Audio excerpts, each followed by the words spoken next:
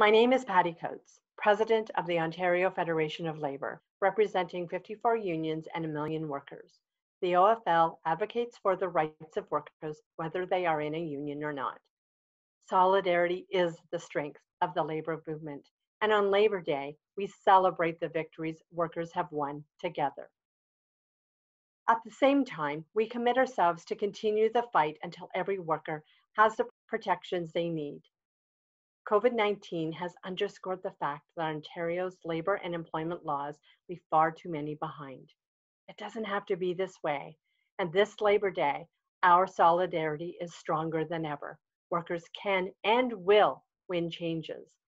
We know that this government puts profit over people at every opportunity, but workers are standing together to demand health and safety protections for all, to demand that the Ford Conservatives stop their unrealistic plans for a safe return to school and protect education workers, teachers, students, and families to demand racial justice, to demand seven permanent legislated employer paid sick days in Ontario, with 14 more during outbreaks, to demand a livable minimum wage.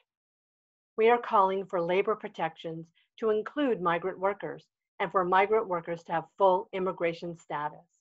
And we call on the Ontario government to change its ways to respect workers' right to bargain collectively, to stop undermining collective agreements and the charter rights of all workers.